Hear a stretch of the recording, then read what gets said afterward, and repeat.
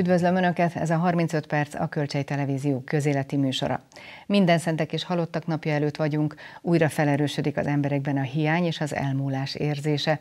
Erről és a lelki egészséget befolyásoló egyéb tényezőkről is szó lesz a mai adásban, előtte azonban nézzük a teljes kínálatot. Gyenge termés, hatalmas a hiány az almapiacon. Lelki egyensúly, mi okoz ma szorongást az emberekben? Árvízvédelem és vízpótlás. Átadták a Tiszatúr tározót.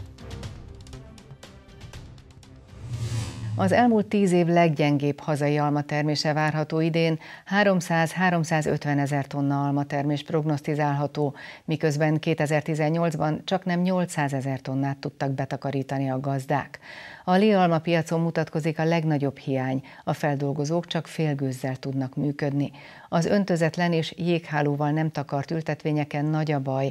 Ezeken a helyeken nem csak az idei termés esett vissza, már a jövő évi termés alapokat tekintve is nagy a kár. A részletekről dr. Apáti Ferenc, a Fruitweb elnöke számol be a következő bejátszásban. Gyönyörű, finom, egészséges almával megpakolt ládák, és bőven akadt ipari feldolgozásra is a gyümölcsből, legalábbis ezeken a korábbi felvételeken. Az ideihez hasonló gyenge termést utoljára 2007-ben szüreteltek a termelők. Akkor a súlyos pagykárok miatt alig 215 ezer tonna alma termett. Idén viszont a történelmi asszály okozta a legnagyobb károkat országszerte, így a legnagyobb almatermő területen Szabolcs-Szatmár-Bereg megyében is. Ha egy normális termésünk lenne, akkor azt lehetne mondani, hogy még több hét hátra van az almaszületből, viszont azt gondolom, hogy a magyar almaszület döntő része az egy-két héten belül befejeződik. Minden idők egyik leggyengébb termését éljük, az elmúlt tíz évben mindenképpen a leggyengébb termést fogjuk születelni idén de a magyar almatermesztés történetének is egyik leggyengébb termése lesz. Már a szezon előtti termésbecslésünk is arról szólt, hogy a 300-350 ezer tonna közé várjuk az almatermést, úgy, hogy egyébként a sok éves átlagtermésünk 600 ezer tonna körül van, és 2018-ban a legjobb évben 800 ezer tonna fölötti mennyiséget születeltünk, vagyis egy jó termés harmada van ebben az évben a fákon. Aztán a szüret kezdete után pár héttel már látszott, hogy az is elképzelhető, hogy még a 300 ezer tonnát sem fogja elérni a termés, különösen akkor, hogyha az őszi betakarítás kori időjárás kedvezőtlenül alakul. Így az almaszület végéhez közeledve jelen pillanatban azt lehet mondani, bár nyilván tényadatai még nincsenek, hogy nagyon a 300 ezer tonna körül fog lidegni, nagyon kevés fogja eldönteni, hogy éppen egy kicsivel több lesz, mint a 300 ezer tonna, vagy esetleg valamivel alatta marad. Alapvetően ez a gyenge termés minden idő egyik leggyengébb termése mindenképpen az időjárási tényezőkkel függ össze, illetve természetesen azzal is, hogy a hazai almas ültetvényeknek egy nagyon jelentős része korszerűtlen.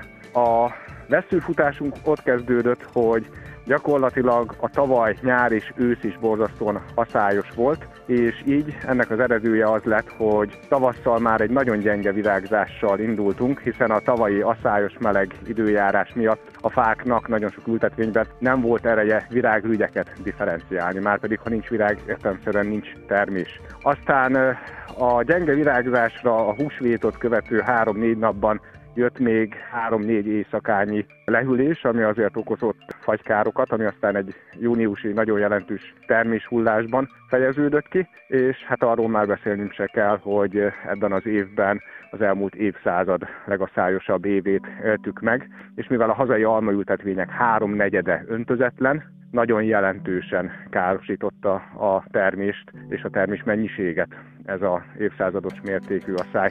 Mindezek eredője lesz az, hogy nagyon gyenge 300 ezer tonna körüli termésnél fogunk idén megállni. A fajták között nincs jelentős eltérés. A szakaszos termésre hajlamosak esetében, mint például a Golden vagy a Jona Gold, ahol tavaly jó volt a termés, ott idén gyengébb lett, ahol pedig tavaly volt kevés alma, idén jobbak a mutatók. A minőséget és a mennyiséget nem a fajta igényei határozták meg, hanem hogy az adott ültetvény mennyire korszerű, mennyire tud ellenállni az időjárás viszontagságainak. Az intenzív, öntözött ültetvények, amelyek korszerű technológiát kapnak, profi tápanyaggazdálkodással, öntözéssel, vegyszeres termésritkítással, kézi termésritkítással. Ott alapvetően a termés az közepes vagy jó volt. Tavaly is és idén is, tehát ott nagyjából van egy stabil termés, ezért is mondtuk azt már a szület elején, hogy úgy tűnik, hogy az étkezési alma termésünk nem kiváló, de nagyjából a helyén van, mert étkezési almát ezeken a korszerűbb, öntözött intenzív ültetvényeken termelünk. Ráadásul, ahol fagyvédelmi technológiát is alkalmaznak, és jégháló is van, ott a fagy és a nyári jégkárok sem okoztak terméskieséseket. Ellenben azokban az ültetvényekben, ahol nincs öntözés, és ahol nincs öntözés, ott jégháló sincs, mert egy öntözetlen ültetvényen olyan bizonytalan a termés, hogy az nem bírja el azt a méregdrága beruházást, amit egy jégháló jelent. Ott bizony nagyon gyenge volt a termés, és ahol egy-egy zivatar cella átvonult és jeget is rakott le, ott még azt a kevés termést is elverte a jég. Tehát az, hogy ki milyen termést születelhetett, az nagyobb részt attól függött, hogy mennyire korszerű, jó színvonalú ültetvényen gazdálkodott.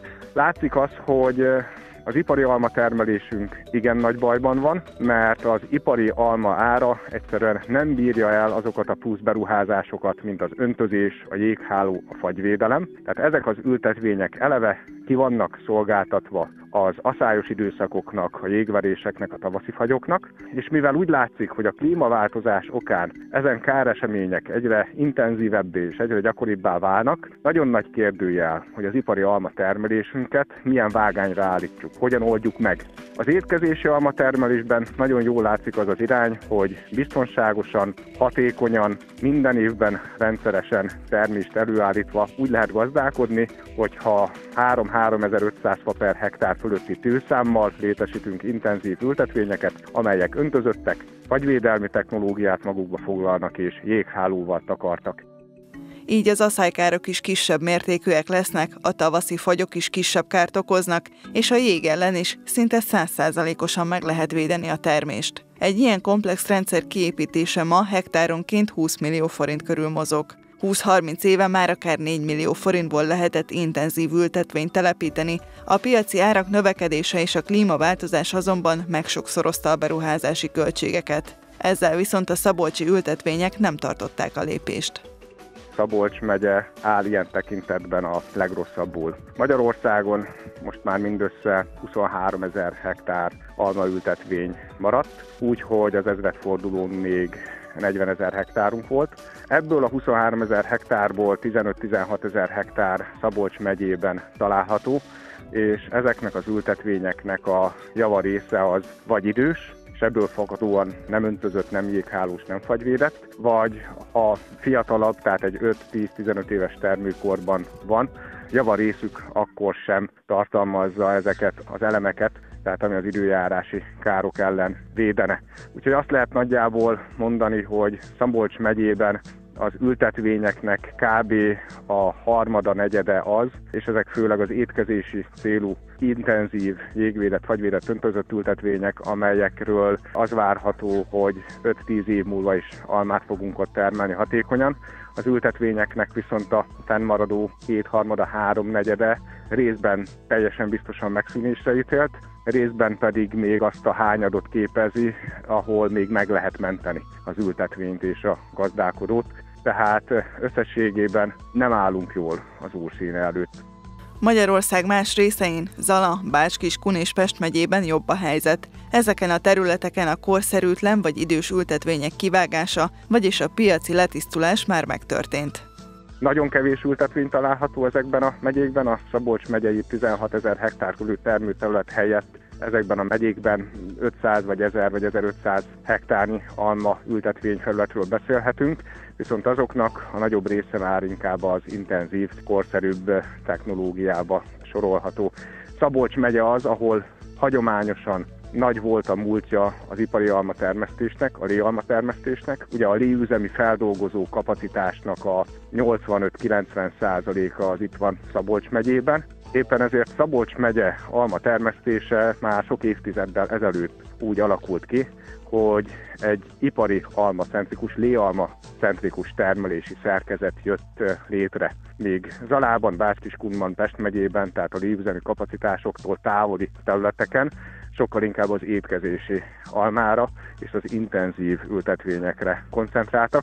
Ez az a történelmi, társadalmi, gazdasági hagyomány, ami miatt Szabolcs megyében most az átlagnál jóval nagyobb a korszerűtlen ültetvények aránya, és úgy tűnik, hogy a süritmény, az alma süritménypiac a léalma, mint alapanyag árában egyszerűen nem képes honorálni azt a borzasztó mértékű költségemelkedést, ami az elmúlt két évben lezajlott, bár gyakorlatilag 6-8 éve folyamatosan költségnövekedésnek vagyunk kitéve, de különösen az utóbbi két év volt ilyen szempontból nagyon durva, és úgy tűnik, hogy nem képes lekezelni az almasüritmény léalma piaca, az sem, hogy rengeteg az időjárási hatások miatti terméskiesés, amelyek szintén kvázi költségnövelő tényezők, és ezt a költségnövekedést is valahogy a gazda felé kompenzálni kellene, ha azt akarjuk, hogy 2, 5 vagy 10 év múlva is termeljen ipari almát.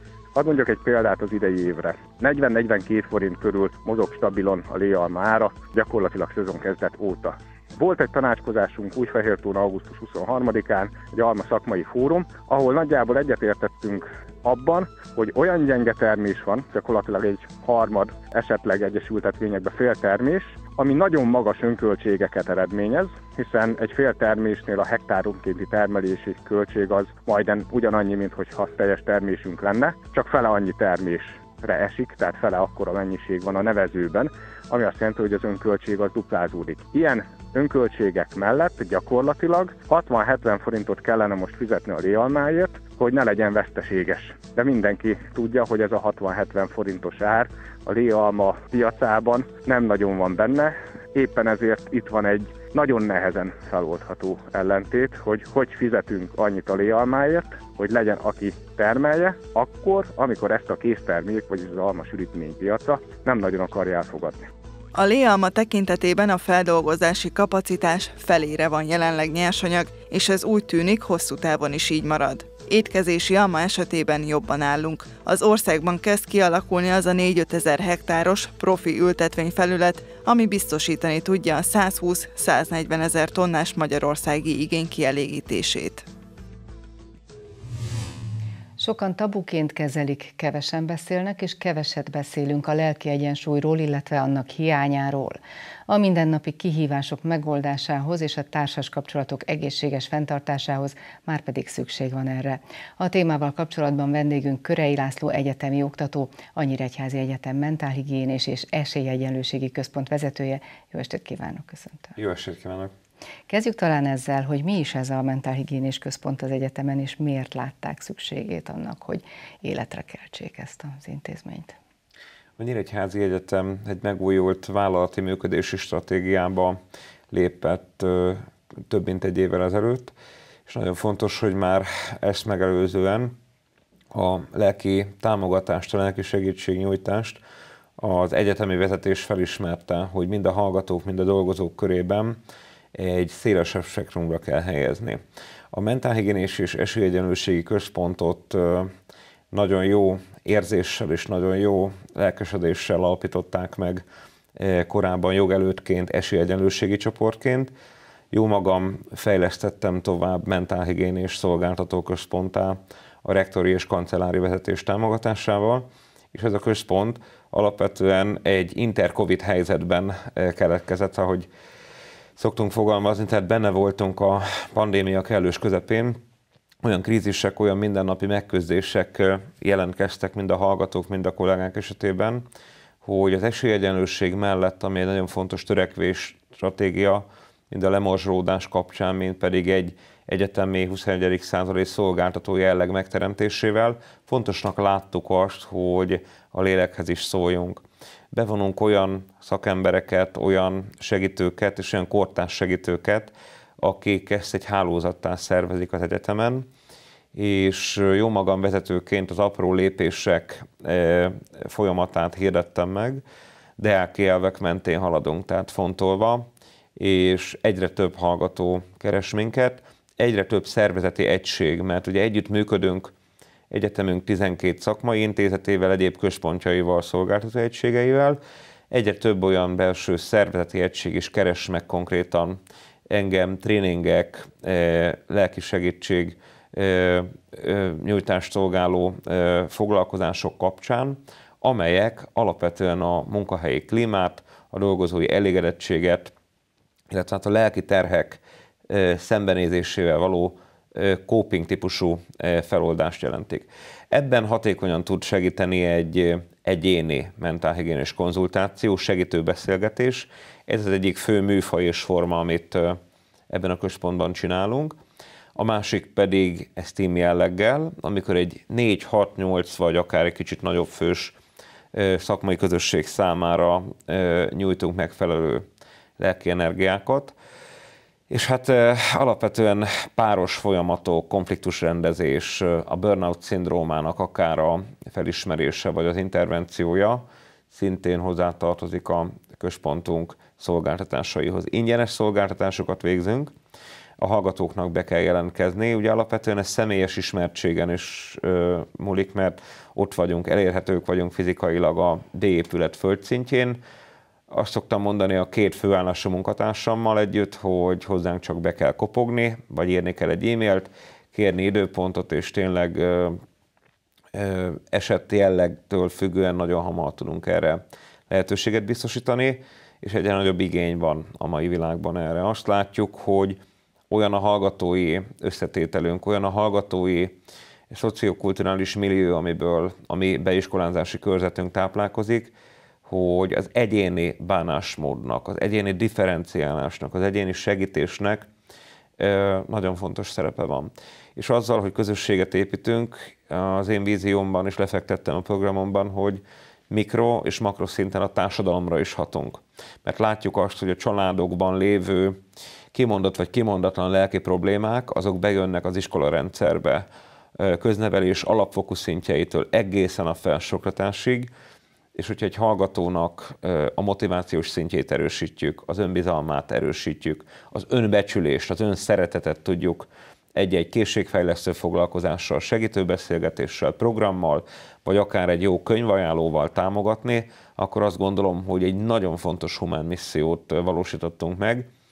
Nagyon-nagyon nehéz feladat, amit csinálunk, de rendkívül hálás, és büszke vagyok arra a 12 kortárs segítő hallgatóra, aki már önkéntesként is beszállt, és együtt tanulva, együtt működve szaktársaival, csoporttársaival eh, dolgoznak azért, hogy épp testben, épp lelkek hagyják majd el az egyetemet, térjenek ki mind a család életben, mind pedig a munkaerőpiacon egy társadalomépítő folyamatban. Én azt gondolom, hogy erre minden képzőhelyen szükség lenne.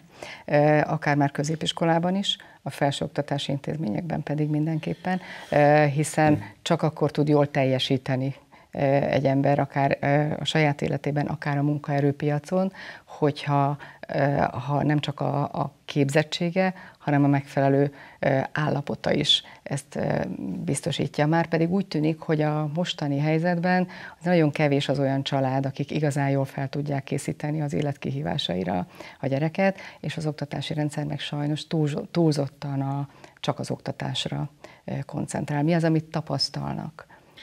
Igen, hát ugye a nemzetközi statisztikánk is arról árulkodnak, különlegesen a WHO előírásait, kutatásait is folyamatosan figyelemmel kísérjük szakmailag, hogy nagyon oda kell figyelni a mentális állóképesség fejlesztésére. Ugyis a mentális állóképesség jelenti azt a pszichés kontrollt, azt az erős pszichológiai immunrendszert, azt az autonómia igényt és jelleget, azt a fajta szociális hatékonyságot, amelyel a 21. századi tudásalapú társadalomban egy embernek rendelkeznie kell. Ugye ez hozzáállásban, készségekben és tudásban is kell, hogy ötvöződjön. Én nagyon fontosnak tartom egy felsőoktatásban a tudást és a tudástranszfert, ebből nem engedhetünk. De minden ember mögött van egy lélek, van egy életút, van egy helyzet, van egy hozott értékstruktúra, ahonnan éppen jön, és ennek a megértése az egy rendkívül nagy feladat, és egy rendkívül hálás dolog is egyben. A pandémia idején nagyon sok embert vesztességért, akár lelkileg, akár fizikailag, akár ugye itt a hozzátartozók elvesztésével. És hát a közösségek is átalakultak. Ugye az online platformok jelenléte, az, vagy megléte egész konkrétan a jelen létet redukálta, és a közösségi együttélésnek, a közösségi együttműködésnek kevesebb szerepe volt ebben az időszakban, a pandémiás helyzetben. Most is vannak krízisek, természetesen ezekkel szembe kell tudni nézni, de mind egy normatív krízis, mint egy akcidentális krízist, egy kellő szakmai segítségnyújtással, mentális állóképesség fejlesztésével alapvetően az egyén túl tud vészelni, hogyha erős a pszichológiai immunrendszere, erős az élni akarása, erősek azok a megküzdő coping stratégiái, amelyek egész egyszerűen fejleszthetők. Nyilván az ő befogadási élményében, hozzáállásában, nyitottságában dől el, hogy ez most mennyire hatékony, tehát ennek mekkora lesz a mentális hatásfoka, de mi ehhez hozzásegítjük a hallgatókat. Természetesen betartjuk a kompetencia határokat, amihez a mentálhigiénés szakember vagy a szervezeti önismereti szakember kevés, vagy egy coach, ott természetesen pszichológiai tanácsadásban is részesítjük a hallgatókat, és mi foglalkozunk a fogyatékkal élő hallgatókkal, illetve a nemzetközi hallgatóinkkal. Számukra is kisebb számban igaz, de pszichológus kolléginák segítik a beilleszkedést, segítik azokat az életvezetési nehézségek feloldását, amelyekkel szembesülnek itt a felsőoktatási létben, meg ugye benne a saját életében. Amit jótékonyan tapasztalok, hogy a munkahelyi légkör is javítható és fejleszthető, és erre van nagy szükség. A most készülő könyvem egyik alfejezetében le is írom, hogy eljutottunk oda nagyon sok szervezet szintjén, hogy kis tányérból, nagy kanállal, de módszeresen fogyasztjuk egymást a dolognak a mentális értelmében, és ez nem jó. Ez a 21. századi tömegjelenségek vívmánya, a fogyasztói társadalom, a verseny, az állandó megfelelés, a kihívások, és ez nem a mi szervezetünkben sajátos félreértés ne essék, nem is általánosítani szeretnék. Közel tíz éves kliens köröm alapján tudom azt állítani, mint szervezeti szinten, mint egyéni szinten, hogy bizony-bizony nagyon nagy problémák vannak a mentális állóképességgel, a hozzáállással. Látjuk azokat a pszichoszomatikus betegségeket, amelyek tüneti szinten nincsenek egész egyszerűen kezelve. Preventív szinten elmondják, tájékoztató kampányok vannak, de amíg az egyén nem jön rá arra, hogy neki van önmagával a legnagyobb tennivalója, egy önvizsgálattal, egy megfelelő önismereti kontrollal, és hogyha ez nem megfelelő, akkor külső segítséget kell kérni. Mindig azt szoktam mondani a hallgatóimnak, hogy szellem, sellem, a másik pedig a szociális tükör. Ha az ember boldog akar lenni, akkor nem árt, hogyha van valami a fejében, nem árt az, hogy egy értékrend mentén, egy értékstruktúra mentén manipuláció, torzítás, játszamák nélkül igyekszik az életét élni minél teljesebben, szellem sellem, és bizony-bizony megtartja, sőt igényli azokat a szociális tükröket, amelyek a külső környezeti faktorok mentén nem csak azt mondják, mint Rilke az arhaikus Apollo torzóban, hogy te jól tudod, a költő sohasem lódít, az igazat mond, ne csak a valódit. Mert az igaz meg a valódi között sokszor nagy a különbség. Nagyon fontos, hogy egy ember kapjon reális visszajelzést arról, hogy hol tart az életében, milyenek az emberi kapcsolatai, hogyan látják, milyen szándékkal teszik ezt, nagyon fontos. És hát ez az értett haragszom nem ellenet típusú kritikai reflexió is nagyon fontos ahhoz, hogy az egyén az önreflexiós képességét meg tudja tudja fejleszteni. Én magam arra vagyok büszke, hogy olyan tantárgyakat is oktatok, meg olyan foglalkozásokat is vezetek, ahol lehetőségünk van arra a hallgatókkal, hogy ezt gyakoroljuk is. Visszajelzőkörökben, egy tréningben, egy mentálhigiénés foglalkozáson, vagy akár egy politikatudományi tantár kapcsán, hogy az aktív és felelős állampolgárság meddig terjed, mit jelent, hogy van vitakultúrám, hogy van véleményem, hogy elmondom, hogy ragaszkodok hozzá, hogy nem gyűlölöm a másikat azért, mert más a vélemény. Ez mind-mind a mentális tárházunkra tesz jótékony hatást. Mert sohasem annak árt a harag, a düh, eh, aki eh, éppen a célszemély lenne, hanem a leginkább annak árt, aki ezt érzi, aki ezt belülről táplálja, és aki ezzel nem tud megküzdeni. Nagyon fontos, hogy a hárító és a megküzdő mechanizmusaink összhangban legyenek, hiszen McDonald és Óhara kutatásai is a 90-es évek közepéig visszavezethetők arra, hogy az egyénnek nagyon fontos egy jó minőségi környezetet, egy társas támogatás, egy folyamatos feedback, egy visszajelzés, egy erős coping, vagyis egy megküzdési stratégia, és egy önmagával való bánni tudás, vagyis személyes hatékonyság. Ez van a lelki egészség képletének a számlálói oldalában, a nevezői oldalában pedig ennek a reciproka. És a bátor mm, lelkes hallgatóimmal felszoktuk állítani ezeket a lelki egészségképleteket, és egy intim közegben 10-15 fölött tudunk erről beszélni, hogy ki hol tart. Szoktam én is visszajelzést kérni a hallgatóktól, és szerintem ez a legfontosabb. Én őszintén kívánom, hogy minél többen ismerjék, ismerjük fel, hogy ebben még nagyon sokat kell fejlődnünk, és remélhetőleg megtaláljuk azokat a kompetens szakembereket is, akik segítenek ebben. Köszönöm szépen, hogy beszélgethettünk ma erről. Köszönöm szépen a lehetőséget. Más vizekre elvezünk, egész pontosan a felső Tiszára, ahol újabb jelentős beruházás valósult meg. Elkészült a 36 milliárd forintból épített Tisza Túr tározó Tiszabecs szomszédságában. A rendszer nem csak az árvíz elleni védekezést segíti, hanem a térség vízpótlásában is nagy szerepe lesz a jövőben. Az átadó ünnepségen elhangzott, továbbra is szükségesek a fejlesztések, csökkenteni kell a folyó szennyezettségét, és a nyírség vízpótlása is egyre sürgetőbb.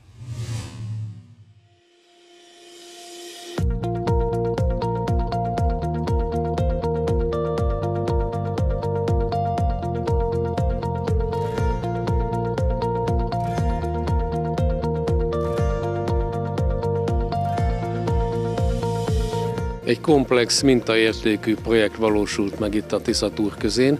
Egyrészt segíti a többletvizeknek az elvezetését, az árvíz és a belvízvédekezést, illetve a vízpótlásban is nagy segítséget fog nyújtani, hiszen ha a beeresztő műtárgyat megnyitjuk rendkívüli árvízkor, itt a térségben közel 50 cm-es apasztást tudunk elérni a gátak között az árvíz szintjével kapcsolatban.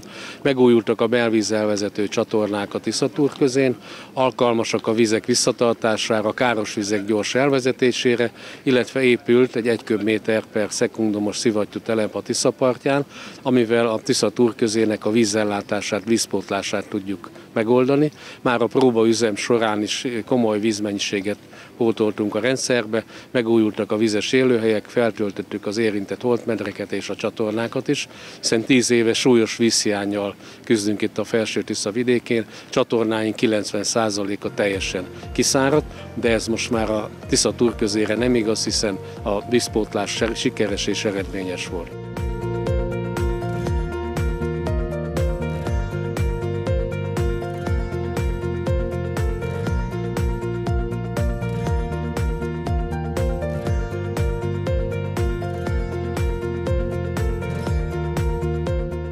Főigazgató úr, egy olyan térségben vagyunk, amely nagyon sokszor volt árvízvédelmi készültség alatt, vagy lehet is még, illetve mostanában pedig asszály sújtotta a térséget. Mennyiben segíthet egy ilyen komplexum ezeknek a problémáknak a megoldásában? Ez éppen egy olyan létesítmény, amely mind a két szélsőséget tudja valamennyire kezelni.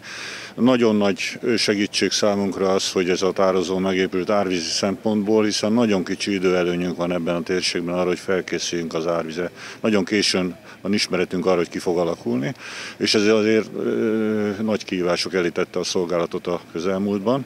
És hát a másik az, hogy az idei év Mióta mérjük számmal az asszályt 1931 óta, azóta az idei év az egy rekord volt, egy torony magas rekord asszály jelenségekbe.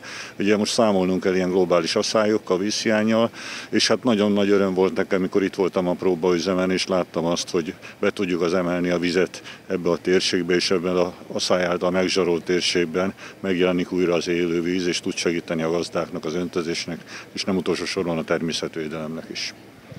Mennyire nagy volumenű ez a beruházás anyag, anyagi értelemben? Hát mindenképpen azt gondolom, hogy ez már nagy volumenű, hiszen közel 36 milliárd forintba került ez a beruházás, ez egy nagy projekt. Nem sok ilyen van az országban. Az ágazatban azért egy ilyen 15-20 projektet ebbe a ciklusban ilyen nagyságrendben végigcsináltunk van tapasztalatunk, és hát azt mondhatom szerencsére, hogy a végére már a kivitelezés is jól felnőtt a feladathoz, és itt is egy jó minőségi műtárgy, egy létesítmény épült.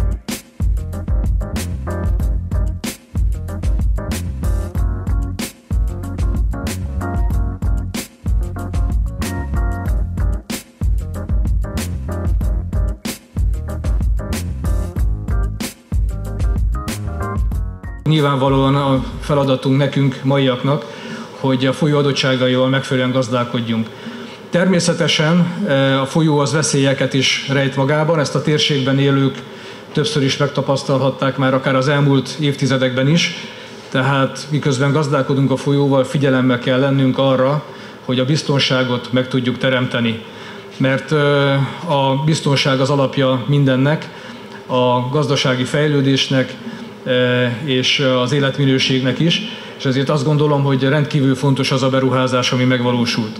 Ezzel együtt mindjárt nagyon jól tudjuk, hogy a víz az nem csak veszélyt jelent, hanem rengeteg lehetőséget is mindannyiunk számára. Gondolok itt a természet nyújtott a szépségekre, az ebből eredő turizmusra, az ökológiai adottságokra, és azt gondolom, hogy nagyon fontos, hogy egy olyan beruházásnak az átadó ünnepségén vagyunk jelen, ami figyelemmel volt ezekre az adottságokra is, ezekre a lehetőségekre is.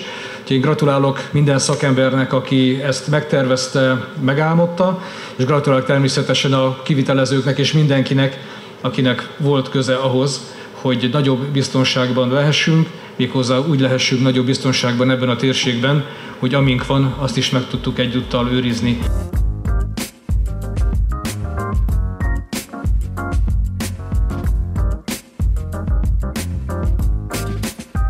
A jövőben várhatóak-e még hasonló fejlesztések? Folytatódni fog az árvízvédelmi rendszer fejlesztése, folytatódni fog a vízpótlórendszerek kialakítása, kiépítése, tervezése. Itt a felső Tiszavidékén éveken keresztül töretlenül zajlik az árvízvédelmi fejlesztés, töltések fejlesztése, műtárgyak átépítése, és itt a legújabb rendszer, a Tiszatúr tározó megépítése kapcsolódó létesítményeivel. További fejlesztésekre szükség van a térségben, ez egy rendkívül különleges térség egyébként, mert az asszály is a, a az árvíz, belvíz jelenségek mellett számolnunk kell ugye a vízminőségi problémákkal, főleg a külföldre érkező szennyeződésekkel. És gondoltunk a petpalacra, vagy gondoltunk a bányavizek szennyezésére, a ciánra, a nehézfém szennyezésekre, amelyek voltak ebbe az időben. Ezek adnak fejlesztési feladatot. És hát a legnagyobb talán én azt gondolom, hogy a közeljövőben várható fejlesztés az a nyírség vízpotlásának a megoldása, hiszen a nyírség, illetve a hajduhátság magasan fekvő területek csak csapadékból tudják kapni a vizet, a csapadék meg egyre kevesebb, és ami leesik, az is gyorsabban esik le és lefolyik, inkább mint beszivárok. Ezt a problémát meg kell oldanunk a közeljövőben. A tervezés megkezdődött, tehát számolunk azzal, hogy ez meg is fog valósulni.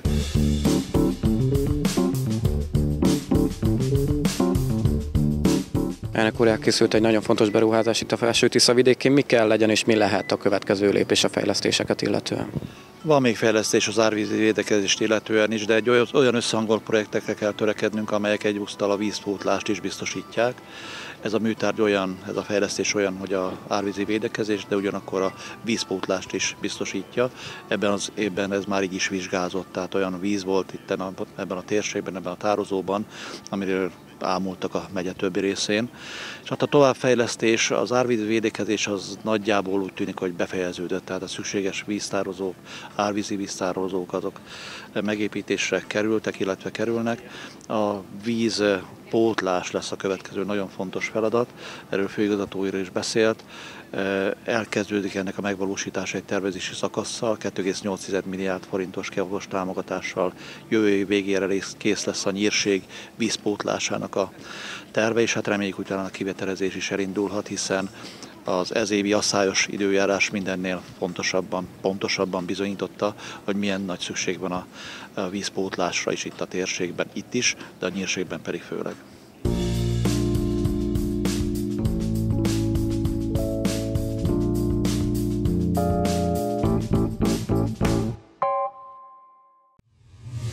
Kedves nézőink, eddig tartott ma a 35 perc, legközelebb új adással szerdán várjuk Önöket, a magyar gazdaság jelenlegi helyzetéről is szót.